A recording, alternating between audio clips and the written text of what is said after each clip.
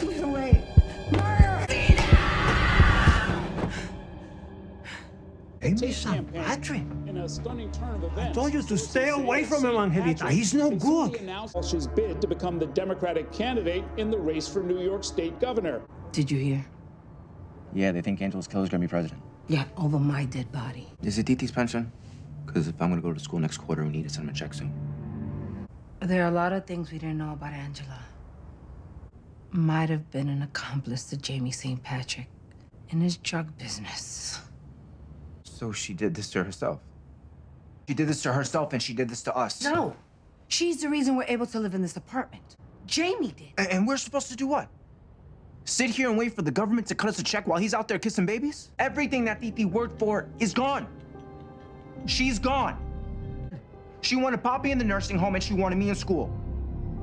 Is that happening? And Jamie is still out there, and there is nothing I can do about it. I don't know about nothing. Sometimes the only way to deal with a violent world is with violence. Don't say that. This family has gone through too much. And you're putting us through even more. And then what happens to me? My life. I can't take care of Poppy by myself. I'll figure something out. What the hell do you think you're doing? If you don't let me take care of this right now, you'll be obsessed with this for the rest of Are your you- life. He did this to me too, and I want my life back. I want our life back. I want you back. I already lost Angela, and I am not gonna lose you too.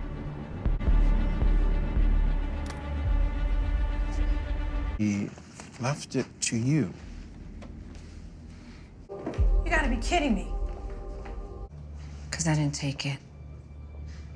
I don't have to accept this charity. I can't profit off my sister's death. You need the money, and James didn't kill her. Okay, look. Tommy is the one who killed Angela. I need you to kill the man that murdered my sister. Yeah, I can't do that. Take the money.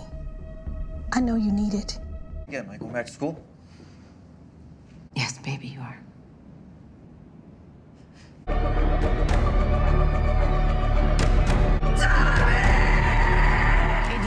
Where's our CI? He's transported out. He's in critical condition, in and out of consciousness. Copy that. Why are you still standing here? Get to work. And now it's a stalemate. No one's moving any product. Ah, I wouldn't be so sure about that. Tariq, he's moving weight somewhere. Wall Street douchebags love their drugs, and Weston Holdings is the perfect market for it.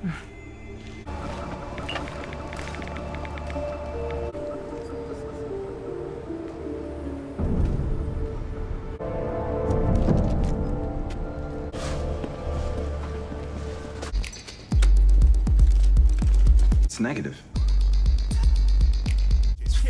Sugar. Hello, everybody. This is now bank robbery.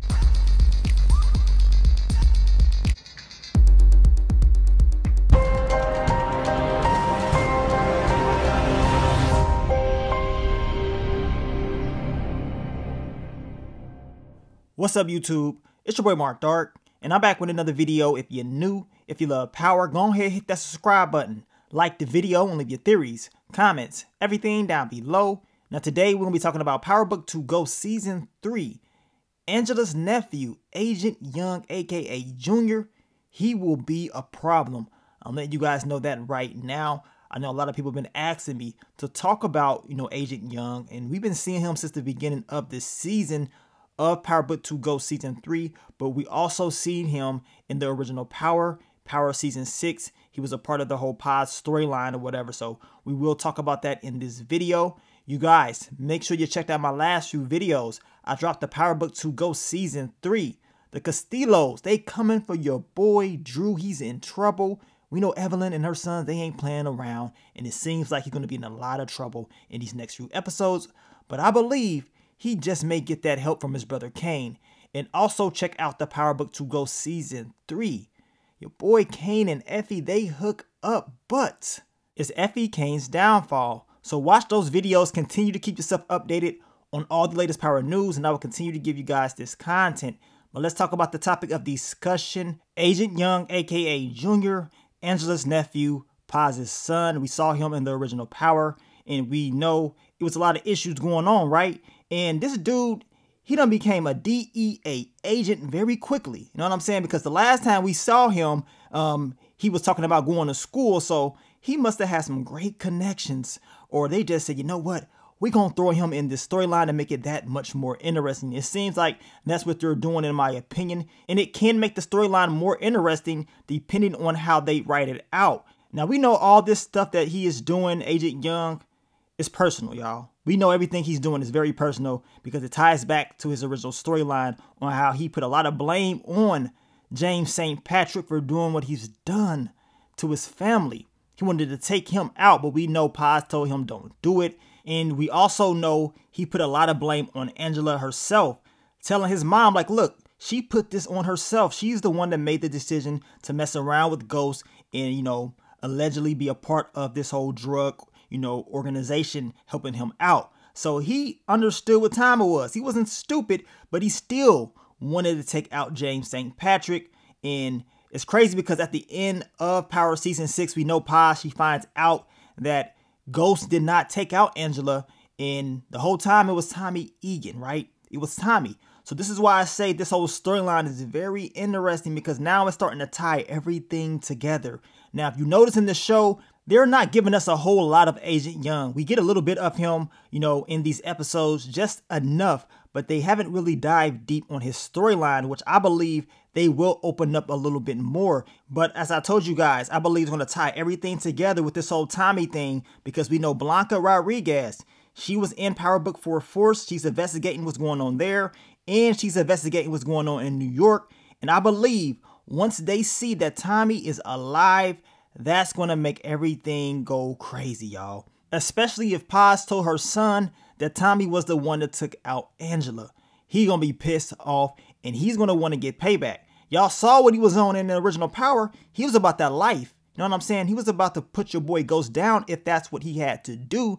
But it goes to show you how serious he is when it comes to his family and protecting them. And even though he's with law enforcement, I'm gonna tell you right now, this guy he is willing to get illegal if he has to in order to get the job done. And I'm just saying that just based off what we already saw from him in the original Power. But I hope that they tie all of this together. Seeing how Agent Young is working with Blanca Rodriguez with the DEA. It ties back to Tommy Egan. At the same time, we also have to remember that Blanca Rodriguez, she had, you know, an eye out for Angela in the original Power. When we first saw her character in Power Season 5, she was already suspicious of Angela and some of the things that she was doing, especially involving Raymond Jones and if she was helping out Ghost in his organization. So it's funny to see in Agent Young's first scene in Power Book 2 Ghost, he's, you know, with Blanca Rodriguez, a person who was investigating Angela. So it makes it very interesting. I'm glad that they put this in there. I'm just hoping, as I told you guys, I'm hoping that they, you know, tie all of this together because this crossover episode, y'all, it's going to be major. Just imagine Power Book 4 Force and Power Book 2 Ghost a crossover, but this time they know Tommy is alive and now they're trying to connect the dots.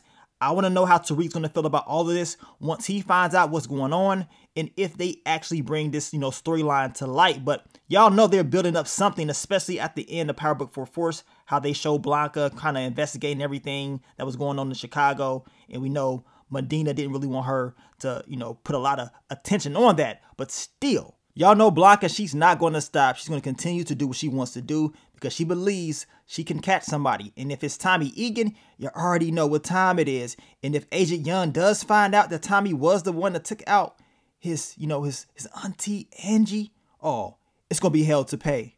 I just can't wait to see how it's all going to play out. But as I always tell you guys, these small characters, these are the characters that you got to watch out for. Agent Young, he is very dangerous, even though he's a smaller character. But expect his storyline to open up a lot more.